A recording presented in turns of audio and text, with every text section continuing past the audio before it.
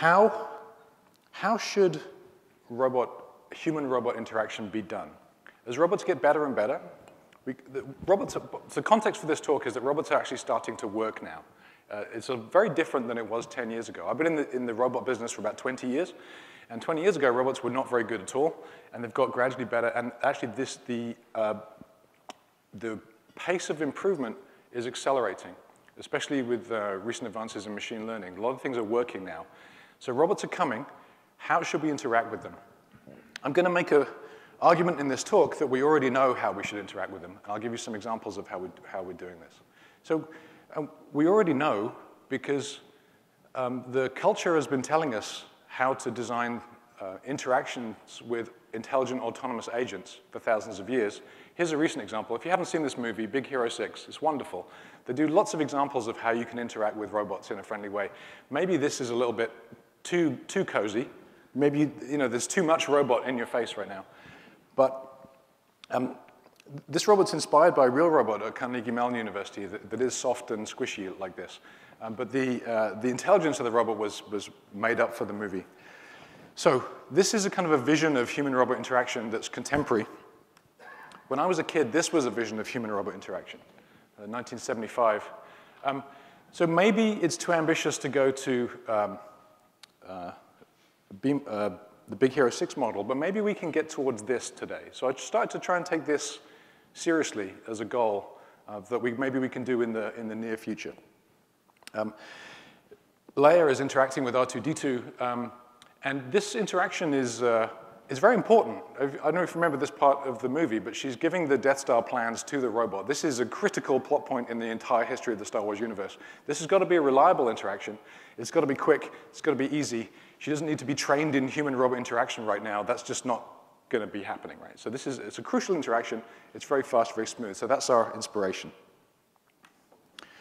Um, we know the, the, culture has told us how to interact with intelligent objects, intelligent artifacts. In 1940, uh, Fantasia, Mickey Mouse is using a gestural interface, whoops, to command these robots, right? So these, these are magical robots, but conceptually they're, they're robots. And you, the robots can tell what he wants them to do.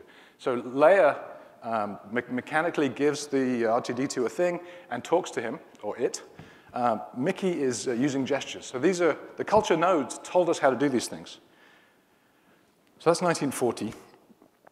But for thousands of years, people have been interacting with intelligent autonomous agents, so like, uh, like trained animals, for example. So the uh, vocabulary, vocabulary for talking to a trained sheepdog um, is a few tens of commands. And the, the, the uh, dogs are raised from, um, from when they're just born to, uh, to understand these commands. And the, these are very sophisticated commands, but we know how to share a task between an intelligent director and a also intelligent agent that's doing some of the work and has different properties than the director, the dog can run much faster than the guy can, right? That's the utility there. And it's cheaper, too. Um, arguably, well, I'm not going to talk about intelligence at all. We also can interact with, uh, we have interfaces that we've designed over thousands of years for autonomous air vehicles or air agents like, like this guy. So most cultures around the world have uh, hunting with, uh, with hawks, um, and uh, it's still, still a popular pastime. And um, so we have interfaces that work over hundreds of meters, which exploit the amazing sensing capability of this agent. This bird has crazy eyesight. It can see the gestures of the guy from a couple hundred meters away. Absolutely amazing. Maybe actually, maybe, maybe a lot more, maybe more like 800 meters. So we look around the culture, we see inspiration for all these different robot modalities, or these different interaction modalities that we can exploit. Here's another one. Um, the uh, interactions between a, a, trained service dog and the user are very sophisticated and uh, life-changing for, the, uh, for, the, for the operator, of course. All right, back to, back to Leia. Now, most of the research that, that goes on in human-robot interaction is exactly like this. A person is face-to-face -face with a robot, and um, they are doing this kind of intimate interaction. So for example, this is an example from, um, uh, from the CARIS lab at UBC, which is just up the road. The robot is paying attention to the human, the human's paying attention to the robot, they're engaged in. Here they're trading uh, not Death Star plans, but a water bottle, and uh, um, Elizabeth Croft's work is to do this safely without the human losing, you know, losing their fingers in this interaction. That's her work. So 90% roughly of human-robot interaction work that's in the academic literature is like this. It's a kind of this intimate thing. I want to ask a different question. What about the other 10%? What about how did Leia get R2-D2's attention in the first place? Like they didn't start the day like this, paying attention to each other, right? So how, do you, how can you get the attention of a robot that's going about his business um, and then begin an interaction with it? Because most of everybody else is dealing with the face-to-face -face stuff. I want to deal with setting this thing up in the first place. So um, here's my student Yaroslav Litus, and he's um, getting the attention of these uh, three ground robots and then giving them commands by waving to them. So we're using gestures to give commands, but he, how is he getting the attention of each of these robots? Can you, can you see just by looking how he's, how does he get their attention? He's just looking at them, yeah. So it's so obvious it's almost, it doesn't feel like you need to point it out, right? But to get the attention of a robot, he looks at the robot. It's a kind of interface you don't need to teach people about, but we had to do the engineering to make that work. The way that works, this is the viewpoint from each of those three robots, and we detect how frontal your face is for each of the three robots. And the robots have a superpower that uh, humans and animals don't. They can communicate with each other across the wireless network. In, in about uh, 50 milliseconds, they've uh, discussed with each other who is, the, uh, who is the user looking at the most right now.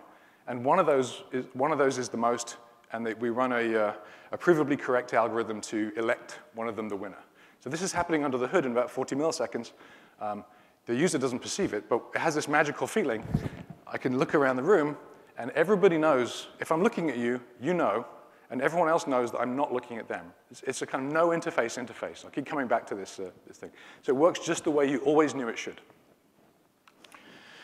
Uh, here's another example. So, so the uh, first one I showed you was the first example of people being able to select a robot from the group in this very natural way.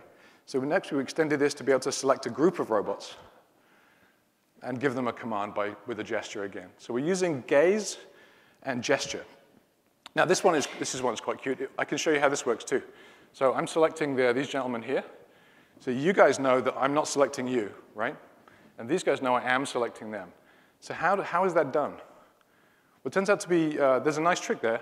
If you look at my face and you look at the ellipse described by my hand, if my face appears inside the ellipse, then it's you. If it appears outside the ellipse, it's not you, right? Super simple. But that's the kind of thing we can do reliably with the robots. We can track hands and faces fairly well. There's a caveat there. I'll come back to that. So again, the, the pieces are simple. The work here is to make the pieces work really, really well, very reliably, and then we compose them into systems. So I'm trying to populate the space of interactions we can use. So that was picking a, uh, a number of robots from a group that are, spaced, that are close together. Can we switch to the other mic for a second?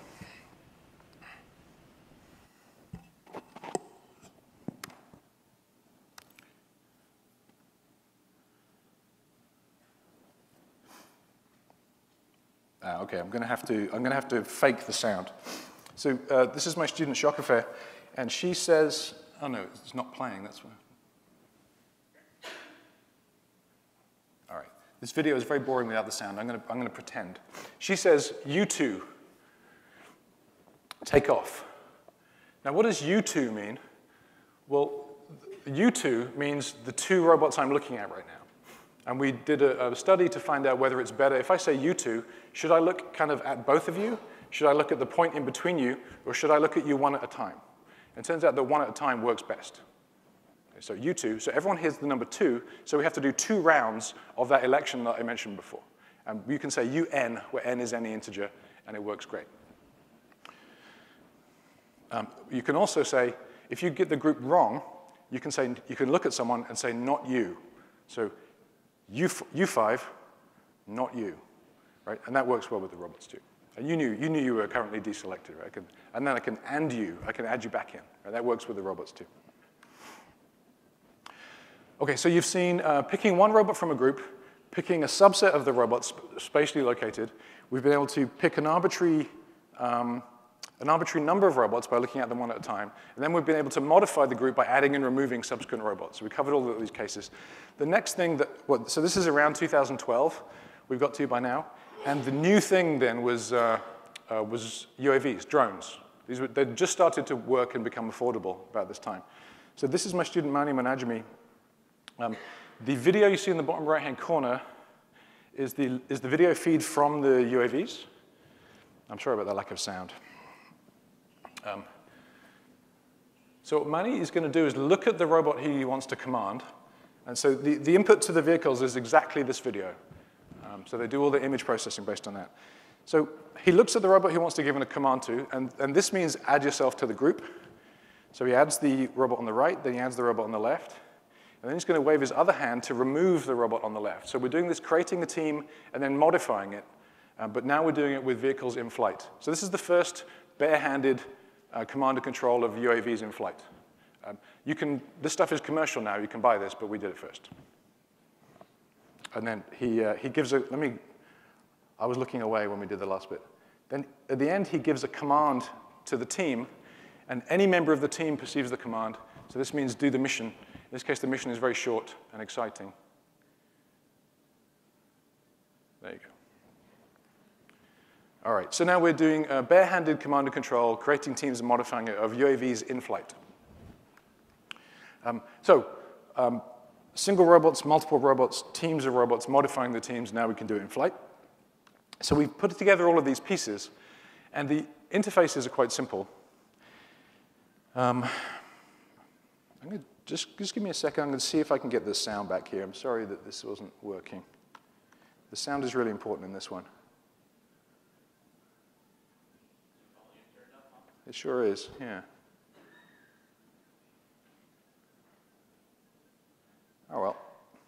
I'm going to have to uh, pretend the sounds. You won't believe me if I make the sounds up. But yeah, no sound. OK. So in this, we've sped it up by a factor of two. So this robot, um, um, what it loves to do is it loves to be helpful and take softballs from people and give them to other people. If you want to give it a softball, how do you indicate you want to give? Well, you just offer it a softball and it will come and take it. So this is kind of a no interface interface. If I wanted to give uh, this gentleman something, I could do this. And that's how you tell the robot you want to give it something. And it can perceive that and come get it. So now the robot has a softball. The robot loves to give softballs to people, so it's going to offer it to Zhao.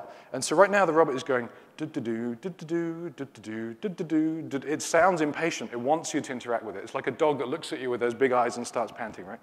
And then when Zhao didn't reach out for the ball, the robot said, ooh, and then turned over. And there's, you, there's no way that you don't understand what the robot's thinking. You just can't help it, right? It's got that R2-D2 thing. R2-D2 doesn't speak English, but you know what R2-D2 is thinking because the sounds are carefully designed. This time, Zhao says, please give me the ball. He reaches out for it. So here's another one with two robots. Uh, the robots find, they find a person. They use this whole suite of sensors to robustly find a person. Now they're both going, do-do-do, do-do-do, do-do-do. And this robot is still saying, sorry, the robot on the left is still saying do-do-do, do-do-do, and then it goes, hmm. And you know exactly what it's thinking, right? You know that it's no longer attending to that person. You know it's no longer uh, looking for commands from that person, all from that sound, ooh. I wish you could have heard it. Oh, you can find this stuff on my website or on YouTube. All right, so we've got a series of demos there which were in controlled environments in the lab. This is not where you want robots, particularly in the lab. We have uh, the, the key thing is we can control the lighting conditions in the lab because computer vision is really hard. Computer vision is one of those things that until very recently just didn't work very well. So we were on the edge of, um, on the edge of getting that stuff to work. But we want to scale up. We want to scale up to large distances, and we want to scale up to outdoors. So if you want to give R2-D2 the secret plans now, first you've got to get R2-D2 to come to you. Right? You've got to get his attention from a long way away. Outdoors, uncontrolled lighting, uh, um, and you appear very small to R2-D2 right now. So let's find a way into doing that. We'll get the stuff out of the lab and into the world. But first, um, again, I, I, want to have interfaces that feel effortless, that, that kind of no interface interface. I don't want to train you. So let's do a study to find out what do people do if you ask them, make the robot come to you. So we did an experiment where that's the only instruction we gave people. Here's the setup. The participant is in, in the middle there, and they're told to stand still. The robot is eight meters away and facing away from them. And the instructions are, make the robot come to you. So that's what she does. Right? She does this. So what do people do? I wish you could hear this. I'm going to try and I'll act out some of this as well. So this is what people do. They say, come on, robot. Here, robot. Come on, robot. Good, robot. Well done, robot.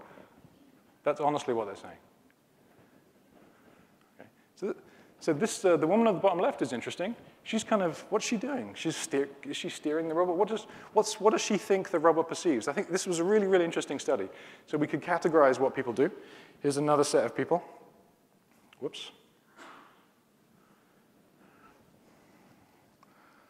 Again, so the top right, the guy's clapping.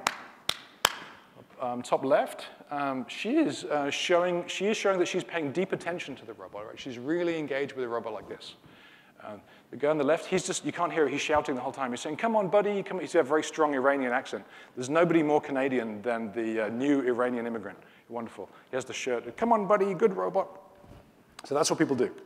So people do things like they gesture, they clap, they make sound, uh, they do this.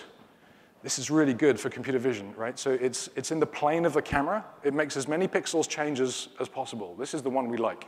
This one is terrible for computer vision, right? If you're far away, very few pixels are changing, very difficult. That's why when you want to greet someone across a football stadium, you do that, and you don't do this, right? But over these scales, this works for humans and animals.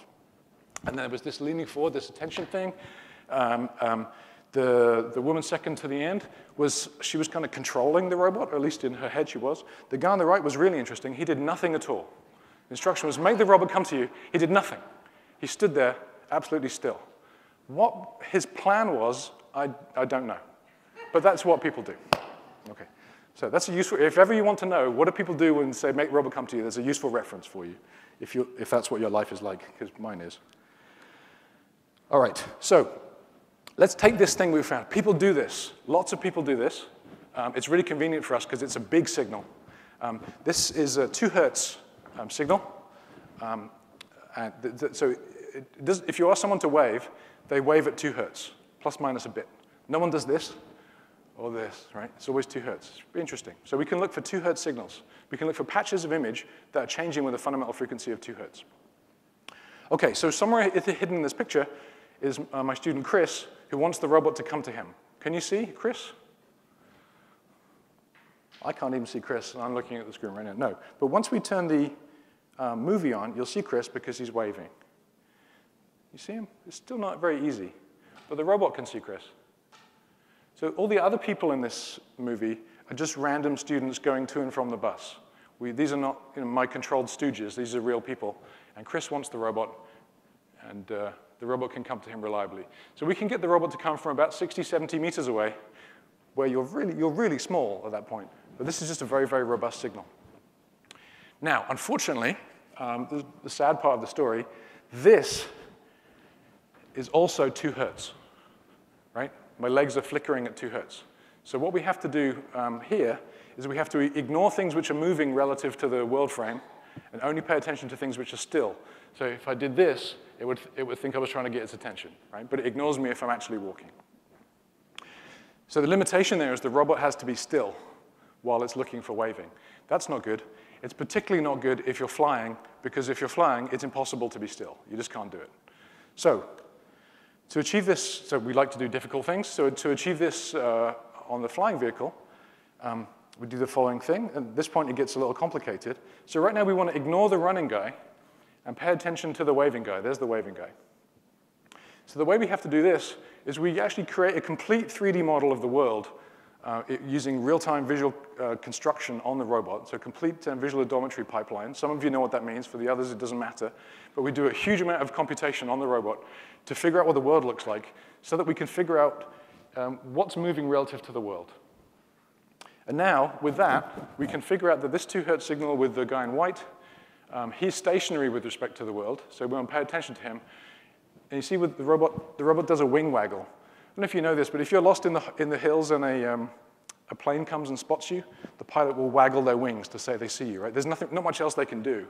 So the wing waggle is the, the traditional I see you signal for flying vehicles. So the robot does a wing waggle. So this is the first time that we've managed to get the attention of a UAV in flight, um, outdoor under real conditions, and all the computations done on board the vehicle. So we can get the robot's attention now.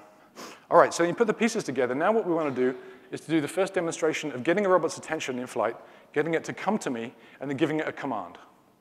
in a close range interaction. So this is, Leia gets up in the morning, she wants flying R2-D2 to come to her and give give her the secret plans. Okay, so this is the, uh, the lighting is not very bright in this video because robot experiments take, the first time it works, you have to, it takes seven hours to get the first one to work. So it's always dusk in robot videos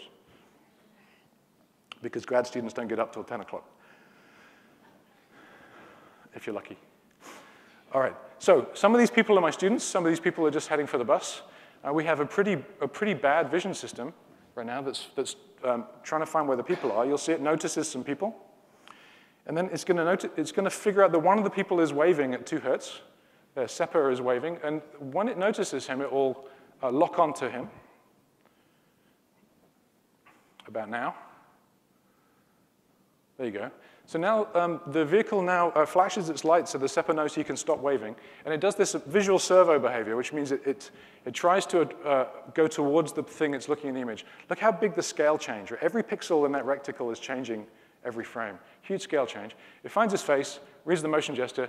That was the selfie picture. That's the selfie, the selfie gesture. And this is the I'm done gesture. So now what the robot does is turns around and flies off. And for some reason, the grad students stopped the video at that point. It broke, broke my heart. But so the, the thing that's amazing about this, I'm not sure if it, if it comes across how difficult that was. That, that demo took us a year and a half because the computer vision is, was just, just on the edge of doable. A very talented engineer who now works for Apple um, doing difficult things there as well. So um, this was absolutely on the edge of what was doable with the computer vision at the time.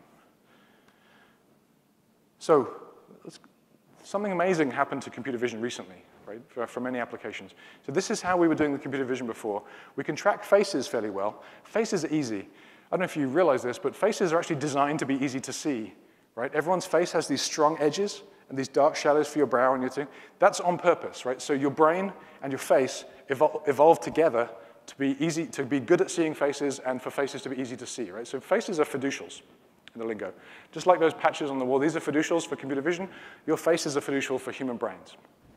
We can track face as well. Motion is also easy to see. So that, that pink spot here is, um, is where we're adding together the, uh, the motion that we detect in the image over a handful of frames. So that's why, and that stuff works really well. It was kind of at the limit of what we could do outdoors uh, back in 2013. And then recently this happened. The difference in, in, in, fidelity and quality and speed is amazing. So this is, this is using deep neural networks that you've um, heard of, no doubt. Maybe some of you use them every day. Um, now, it looks like we're tracking the hands and faces. We are not. We're detecting them independently in each frame. It looks like it's tracking because your brain is, is doing the data association from frame to frame because the detections are very, very, very good. So this, is, this runs in real time. Um, no problem, right? 30 hertz, if it, runs at 60 hertz, but our camera only gets data at 30 hertz. So this is kind of amazing. So now we can, look how happy we all are. We're happy because the robot stuff actually works really, really well. All right, so now we can do this. Now we're not just sort of grasping, looking for a little bit of, of motion. We can actually track hands and faces uh, under real lighting conditions outdoors in Vancouver in February. Um, so what can we do now? So this is the very latest um, stage we've got to with this stuff. Right now, the robot is on the ground, and, and it can see, um, it's not super clear on the screen, but it can see Pratik's hands and face in the top right-hand corner. The, the top right-hand corner image is what the robot sees. So Pratik is going to get the robot to pay attention, and then and he's going to give it a command, the takeoff command, so it takes off. So we can give these um, binary commands, like do this now, do this now. We have a library of commands. This is takeoff, this is land, this is selfie, okay? But now we have a new thing. So we, now we do the same system as before. We look for, uh, uh, look for waving things to get the robot's attention, and that works very well. We get the robot to come in, uh, approach over about uh, 18, 18 or 20 meters. And now we can do a new thing. As well as this library of commands, we can actually give continuous commands. I can give continuous value gestures. So now what Sepehr's doing now, he's flying the robot. When you hold your hand up like this, he's steering the robot with his hand. There's a selfie gesture. There's the selfie. But he's going up, down, up again, right? So this is the first time that that's, that's been demonstrated as well. So we're still a bit ahead of the commercial manufacturers like DJI and Parrot, um, but um, not very, we're not very far ahead of them anymore. So I'm going to stop doing this work because these large companies with enormous resources, um, they, we showed them how to do the early stuff, and they're getting closer and closer and closer behind us. So as a, as a professor, my job is to be out for the, looking for the next thing, so we're, we're, we've stopped doing that. But you can buy some of it uh, from a huge Chinese corporation, which is great. Okay, a couple more quick things. Um, other things in the repertoire, pointing. Pointing is super useful. Uh, so we could give these continuous gestures before. So pointing is a special gesture. It's, I can manipulate your attention. I can draw your attention. I look at you, but there, you, are trying really hard not to look over there, right? I'm manipulating your attention by pointing. Very strong signal. This uh, very uh, badly trained agent can do it. Um, uh, you can do it in, in, in, other, in contexts where there are lots of people. Everyone knows what this means. Animals can understand it, right? So it's simple enough that we can, animals know, know what this means. Interestingly, animals can even do it, right? This is a, uh, I think this is a setter, not a pointer. Maybe I'm, anyone know dogs, what kind of dog this is? But um, this is a, a gesture. This has been used for hundreds of years, at least, maybe thousands. This leg up means I'm pointing now, and then the dog points to a bird that's fallen in the grass, right? It's a hunting dog. So animals can do pointing, so everyone does pointing. We can reuse the system we had before very, very simply using a, a RGBD camera. That is a camera where we have the colors and also the depth for every pixel, the distance from the camera to the pixel. And the, the uh, most famous example of this device is the Kinect that comes with Xbox. It's a uh, low-cost device, works pretty well. So now we can segment the hands and faces using the method I told you before. And now we can find the depth associated with hand pixels and, and uh, face pixels from this image. And so then now we have a cloud of pixels in 3D, which is your face, and a cloud of pixels, which are your hands. And now we have to do some statistics on these clouds of pixels to figure out accurately which way you're pointing. Okay, so we, we um, there's a, a, paper you can read if you care. We do some elementary statistics, and we can get pointing in 3D really, really quite robustly, including pointing behind you. So um, the pointing was very cheap once we'd figured out the, uh, the basic technique. All right, last thing is following. Following is my favorite no interface interface, right? You're doing a fairly sophisticated interaction with a robot, and you're literally not even attending to it. Just, there's a robot following me.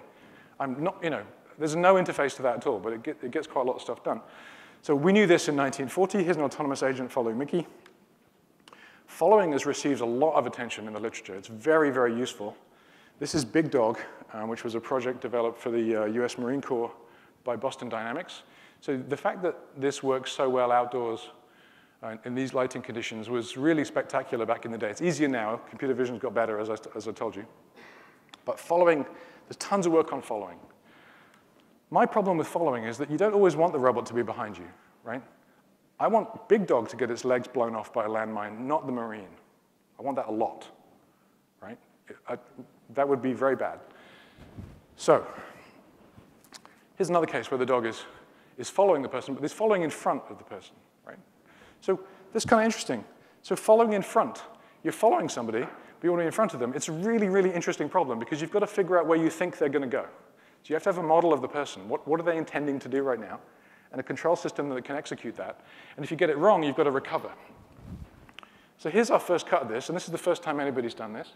So this robot is following Payam, but it's doing it from the front.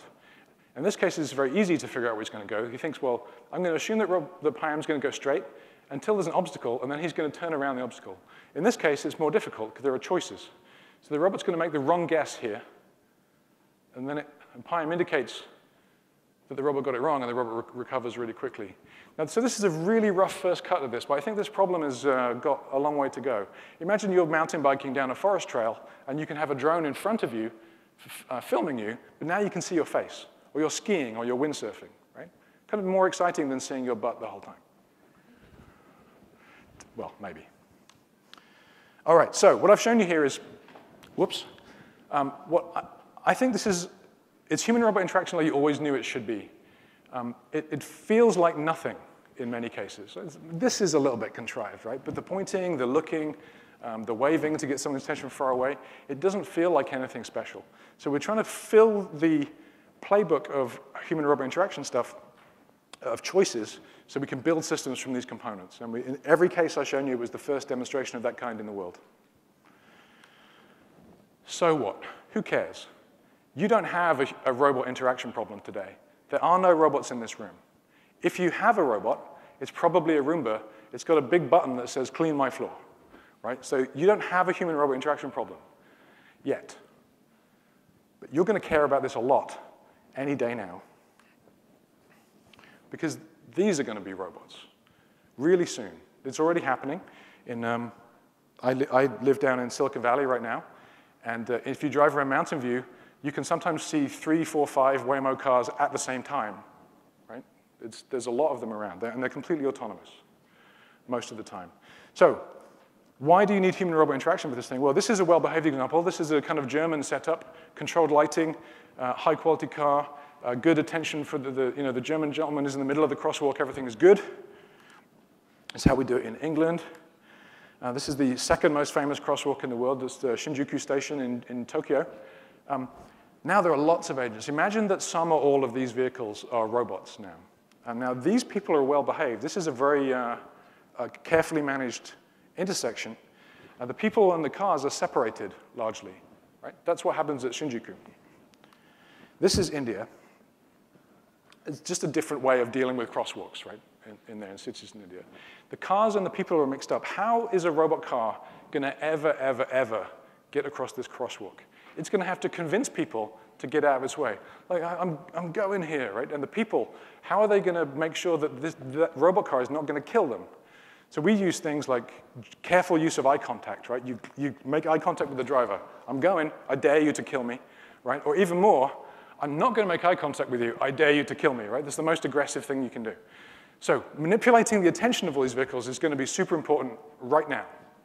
So you will care about this.